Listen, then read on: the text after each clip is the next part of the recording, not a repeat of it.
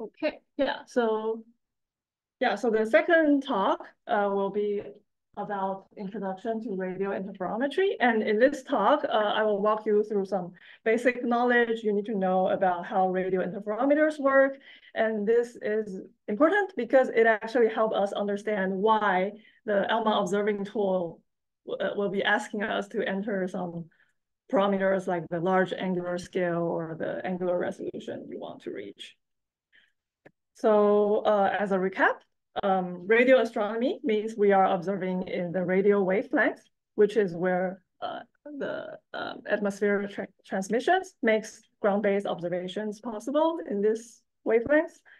And um, one interesting thing for radio telescope is that, as you can see, we no longer need uh, pristine glass mirrors like we typically see in optical telescopes or infrared telescopes. And this is because when we when we get to wavelengths like millimeter, centimeter, or even to meters, then it becomes really easy to ensure the smoothness of the, this. So we don't need to rely on like glass mirrors anymore.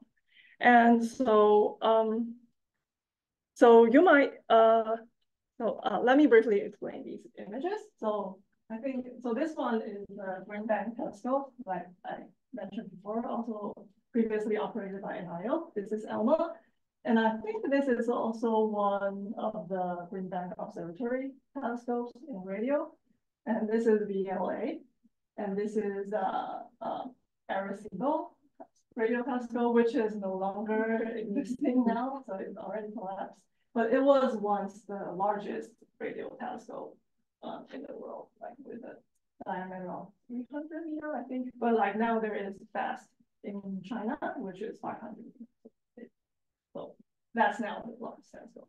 And on the bottom, you can see this is the long wavelength array in New Mexico. It is uh, designed to detect wavelengths like 10 meter, and you can see that they don't even need a dish because they are using um, dipole dipole antennas, which I actually don't know what that is, but like, but yeah, but like in longer wavelengths, you you can like don't even need to rely on um, the dishes.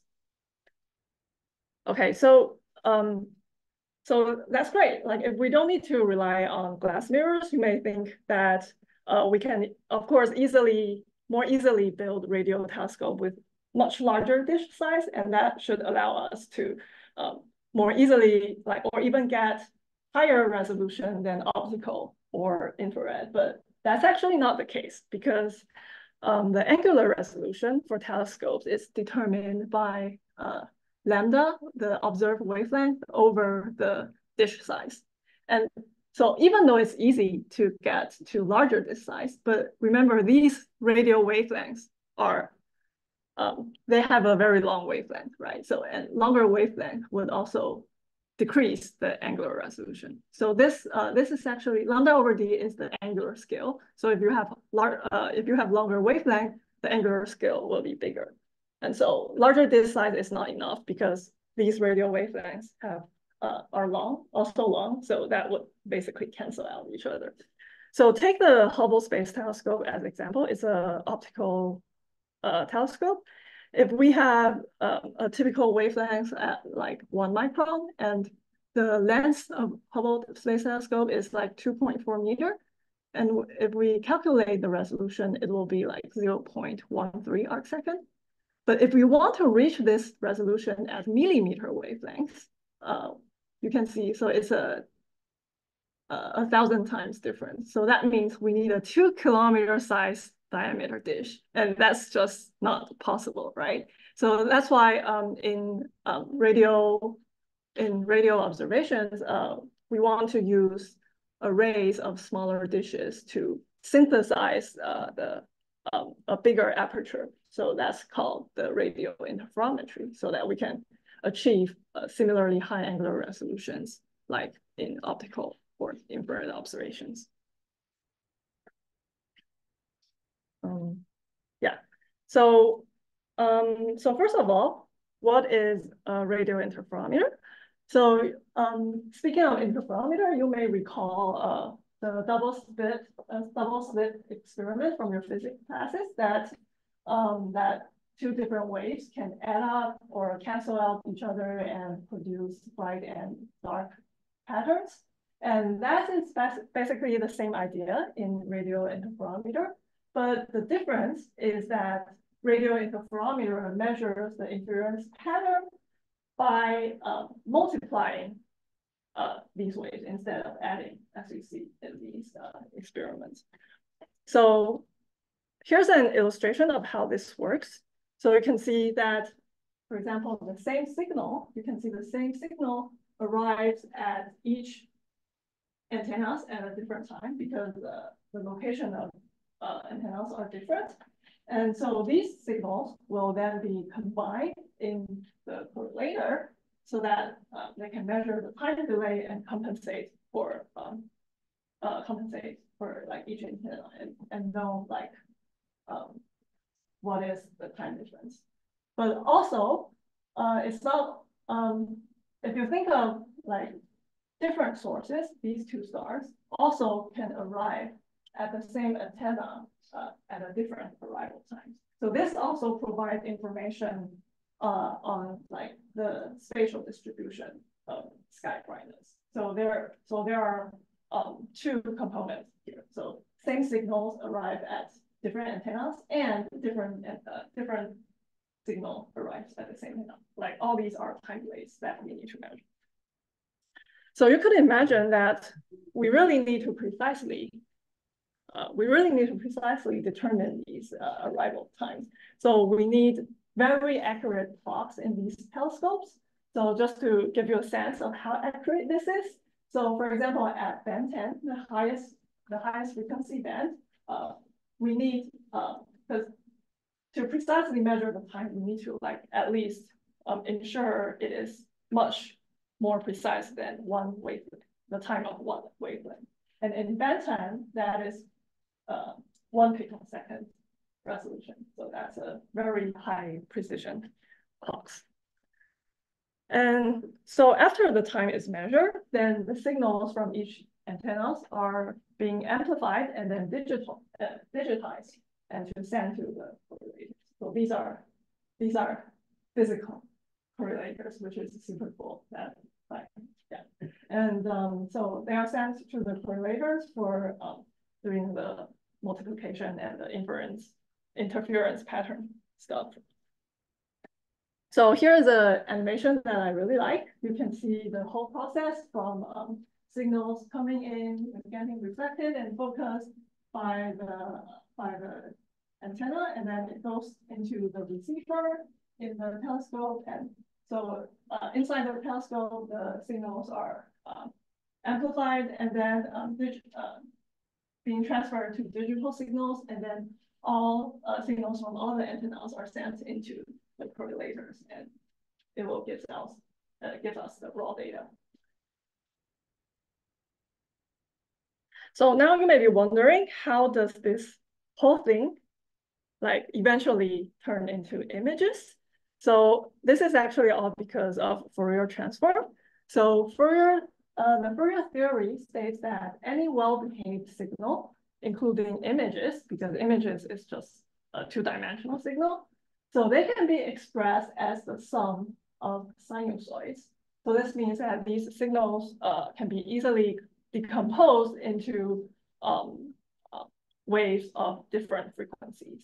And that is really handy because, uh, because also the Fourier transform actually allows us to uh, transform back and forth without losing any information. So, um, so for radio interferometers, what they really observe is in the frequency domain.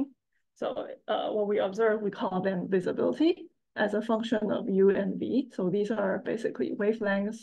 Uh, u and v are in units of wavelengths or frequency. This is in the frequency domain. And if we do a 2D Fourier transform, then we will get uh, the sky brightness distribution. So the relation between frequency and the image is actually just a Fourier transform. So yeah, you can see the equation form here that T is our image and V is the visibility at frequency um, domain. So um, here are some examples. So here you can see a typical image. It is as a function of x and y. And if we do a 2D Fourier transform, then it will give us the visibilities.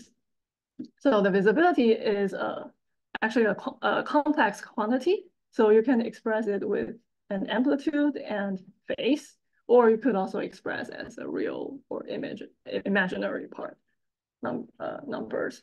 So um, you could imagine that each of this, uh, each point on the visibility actually contains information of the image everywhere. So for example, like one point on this UV is actually telling us how much in this image has this certain frequency. And uh, the phase is telling us where this frequency is at. Yeah, so that's the idea of uh, what interferometers measure. And um, so here are some useful Fourier transform pair that could let us um, get some idea of how this is working. So for example, the delta function, uh, the Fourier transform will become a constant because you, you can imagine that delta function basically contains infinite number of frequencies at the uh, at the same amplitude. So that's a constant in visibility amplitude. And for elliptical Gaussian, the Fourier transform is still uh, elliptical Gaussian, but you can see um, that um, it becomes a more widely uh, widely spread Gaussian and um, and vice versa. So if you have a more widely spread Gaussian, the Fourier transform will much narrower. So one rule of Fourier transform is that narrow features transform to wide features and vice versa. And another important example is that uh, the if we have a uniform disk structure, then the Fourier transform will be a Bessel function, which is uh, um, basically uh, a decaying fringe fringe pattern that you can see on this image. So um, um, one interesting example here is that if we input the image of a VLA antenna, so it's also a little bit like uniform disk structure, the Fourier in the Fourier transform, you can also somewhat see the Bessel function patterns. And yeah, and so the second rule of Fourier transform is sharp features like uh, the edge in this uniform disk will result in many high spatial features, but it will be decaying because like this, like the, the energy is limited, should be limited by. It's still like focused on the, um, it's still like being constrained. So that's why you see the decaying features. And also, um, if we have a centered Gaussian in the image, then, uh, so as I mentioned before, a sharp, uh, wider feature will be tra uh, transformed into a narrower feature and vice versa. So if we have a centered, more narrower Gaussian, the Fourier transform will of course be a wider Gaussian. But um, sorry, the slides aren't being shared. I just uh, caught that. Oh, note. oh sorry no, about oh sorry about that. So maybe I should. Um,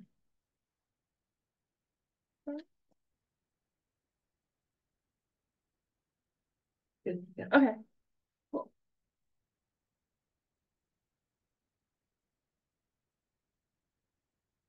Yeah, sorry about that for online participants. Um, okay, yeah, so I was talking about that the centered Gaussian uh, will be transformed into a widely a wider spread Gaussian in terms of amplitude, but uh, now I want to focus on what the phase can tell us. So since this is centered in the image, the phase will of course be zero. But uh, if we have an offset Gaussian from the center, then the amplitude will basically be exactly the same. But there are fringe patterns that um, um, tells us where um, where this Gaussian is at. And so um, another important note about Fourier transform is amplitude tells you how much of a spatial frequency and phase tells you where the spatial frequency is. So now we know that the image is simply the Fourier transform of the UV space, which is sampled by the antenna arrays. And now let's see how exactly does the observation works. So um, the idea is that uh, the radio antenna arrays basically sam is actually sampling the frequency domain. So it's sampling the UV space.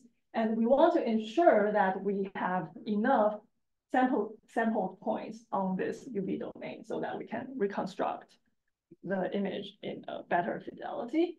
And uh, so the idea is that we have an array to synthesize a large aperture antenna of size of the maximum uh, maximum baseline pair. So for example, uh, for two antennas here, we have one baseline, and that will correspond to two UV points, which is a pair of UV points on the UV plane. And then if we have more antennas, then we can sample more on the UV space.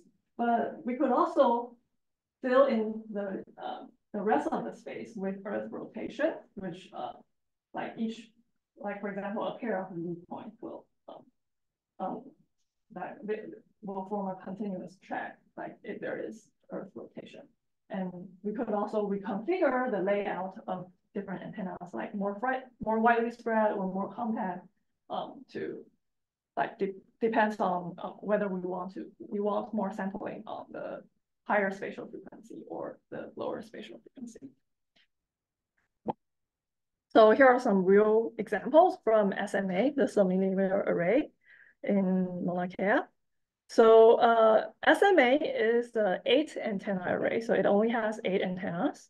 And this figure here is showing the most extended configuration of SMA. So this big black dots here are um, the location of antenna. So you can see is uh, the very extended configuration. So here, the corresponding UV coverage is here. So basically, uh, like each each pair of antennas will form um, a pair of lines here. And this continuous track is formed by Earth rotation by like allowing time elapse. And so, yeah, so because this is the most extended configuration, you can see that the UV uh, coverage is out to like 500 kilo lambda uh, in terms of wavelengths. And this is the second most extended configuration. The extended configuration, you can see clearly like the UV coverage narrows down to um, to the more uh, more concentrated at the center. And this is the compact one configuration, it's even more compact in UV coverage. So uh, we could also combine all these configurations to ensure we get the most complete coverage of UV space. So this, this is the most ideal case. But still, um, still you can see like even if we combine uh, all these configurations, there are still a lot of space. Like we are not really completely sampling the UV parameters. So we have to know what does it mean if um, if our UV coverage is not complete. So here I'm showing again the previous example of this image. So if we mask out the high spatial, all the high spatial frequencies uh, in our visibilities, and then do an inverse Fourier transform, uh, sorry, a Fourier transform, then you can see this very blurred image because it is only uh, recon reconstructing the wide, like the diffuse structure. So you, you, uh, you cannot see the details, but only the, um, the blurred version of it. But if we do it oppositely, if we mask out the low spatial frequency, then um, basically what you can see is only the um, the sharp features that um, gives us the um, like you can you can only see the lines, the transitions, but not like like oh like we don't know this paper is wide and where is black on this on this image. So uh, and this figure here shows the UV space sampled by ALMA. So you can see that like comparing with the previous SMA, like we have 66 antenna per ALMA and the UV coverage is like uh, much, much better than only sampling with eight antennas. but, um, but you could, you could still see that there is, for example, this big central hole here, and this is, um, we, we will have this problem because, uh, the, um, the shortest baseline of two antennas is always limited because at least, for example, you can see that the shortest baseline cannot be shorter than the dish size, right? Or else they will like just collapse. So we always have this central hole problem that we cannot sample the shortest, uh, the lowest spatial frequency part. And so we, uh, we need to solve this. Um, so that's why uh, I mentioned that in additional to the 12 meter uh, main array of ALMA, we also have the ACA array with only seven meter and also some 12 meter uh, used for single dish observations. So they are used for um, for uh, compensating these central hole in the UV. So these are some real data from ALMA. Uh, it's an observation on M100, a nearby galaxy. So for example, you can see the 12 meter only image is only showing the high, uh, the higher resolution features, like uh, really um, like detailed variations of like, for example, the center of galaxies. And the seven meter, on the other hand, only shows the broad and diffuse structure that, like, for example, we can no longer see the structure in the center. And so what we really need is both, right? So we need to combine uh, these image. And also, it's not it's not only like the seven year has the problem because in, uh, for example, in higher resolution observation without the short spacing, uh, you can see many diffuse emission are being resolved out, right? So for example, this diffuse uh, component here is not seen in the 12 meter images as well. So we really need to um, get both the uh, high and low spatial frequency observations. So as a summary, uh, the long baseline, uh, I mean, the longest baseline of the array basically determines the largest angular structure. Uh, sorry, the largest baseline basically determines the smallest angular structure, and that is the um, angular resolution of our observation. But the shortest distance between antennas determines the largest uh, angular structure, and that is the maximum angular scale we can recover. And so for, uh, for radio interferometer observation, we really need to think about both of these. So usually people tend to just think about resolution, but uh, the large angular scale can also be a uh, be a big problem because if you could imagine that like if we are observing a star forming region, like they may have diffuse and hot gas, but if we only use like 12 meter observation, then those, we will no longer see those structure. So this is the downside, but there are also upsides, upsides of this. So for example, we don't really need to care about like the sky brightness effects or the atmospheric effects because those are really large scale. So they will always be resolved out with uh, interferometer observations. And also there is a field of view. So the field of view is determined by um, wavelength uh, over the antenna diameter. So, so um, yeah, so so basically the antenna antenna diameter will determine um, how large of the field you could observe. But if you want to observe larger field, there's uh, it's not a problem because uh, you could do uh, multiple pointings um, in a mosaic to map a larger region. So here's a table that lists the largest and smallest angular scale of ALMA in different band and different configuration. So you can find this in the uh, ALMA proposal guide. So this this this is a is a cycle 10 version, but the cycle 11 version is already out on the website. So so yeah, so for cycle 11, you will also see C9 and C10 because like this version for previous year, like C9 and C10 is not available. So, um, so yeah, so these are important information to consider. You need to see like, for example, if you want to propose uh, C2 configuration with band four, then like you will need to know like it can only um, cover a maximum scale of like 15 arc seconds. But like you actually don't need to worry about this when you prepare the observing tool because uh, they will actually automatically calculate for you and let let you know like with your desired resolution and your desired ang maximum angular source, they will figure out for you that whether you need additional configuration or um, or ways to fulfill your requirement. So just keep in mind that spatial scales larger than the smallest baseline cannot be imaged, and spatial scales smaller than the largest baseline cannot be resolved. So this is the main takeaway.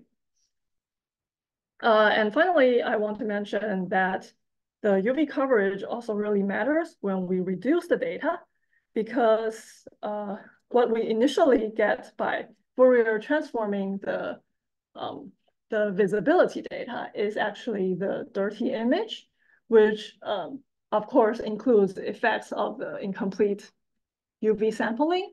And so um, what we do for data reduction is that we get this dirty image, and then we still need to subtract out um, the effects caused by incomplete sampling. So, so this means the dirty beam, or we call the point spread function. So the dirty beam or point spread function is basically the Fourier transform of this UV coverage.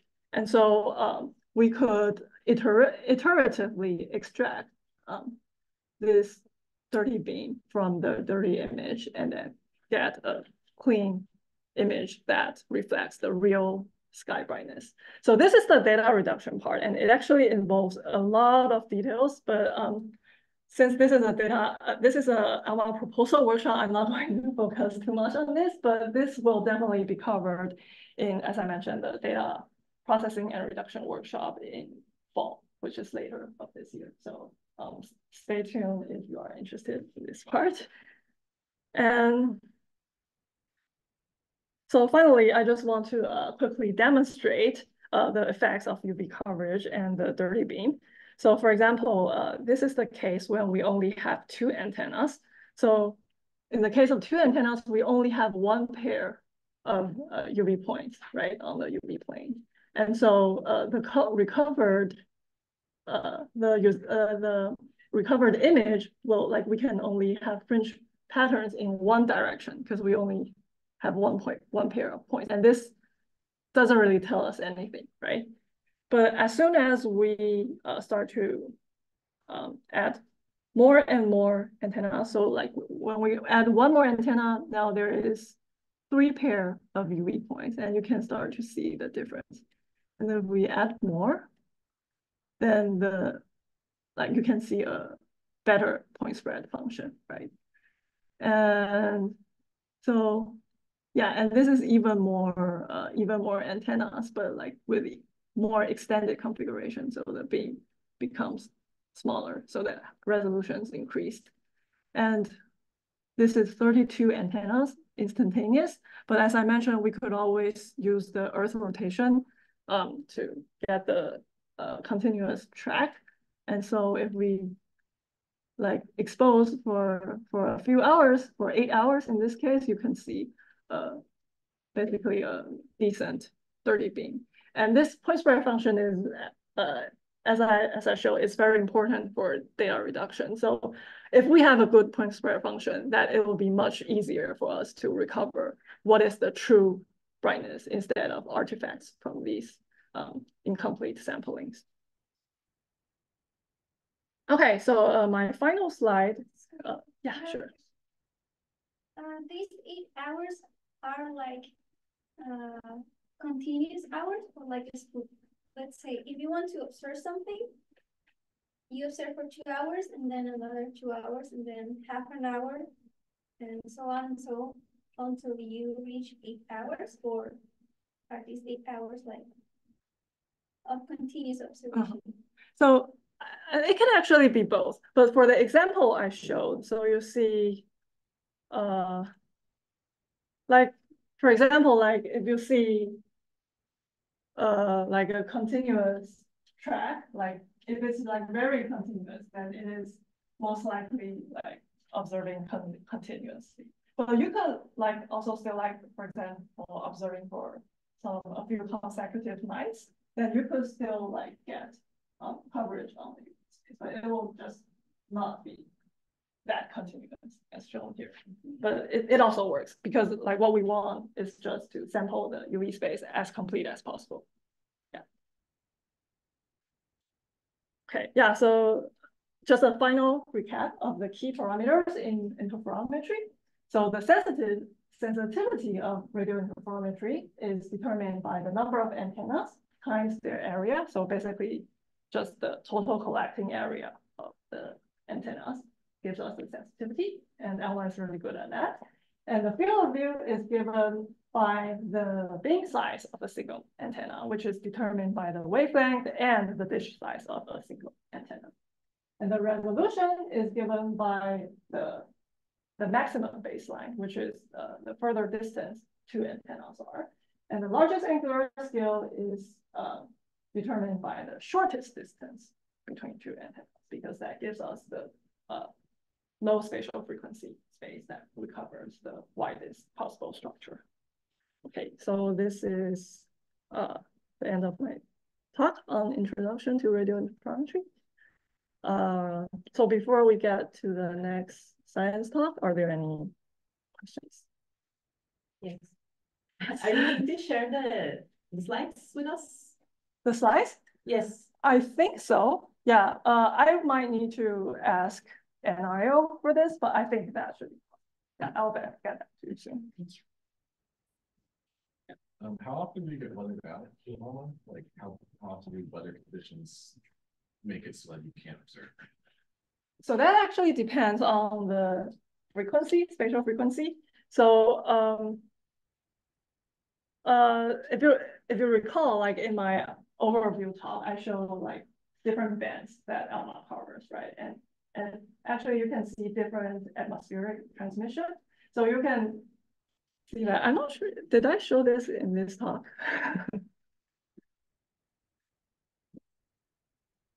May, okay, maybe not in this talk, but um, but later I will show again. So you, so basically you can see like, uh, higher spatial frequency, like band eight, band nine, or band 10, the atmosphere transmission is much poorer than the lower frequency band. So in those bands, we really need good weather conditions to get useful observations.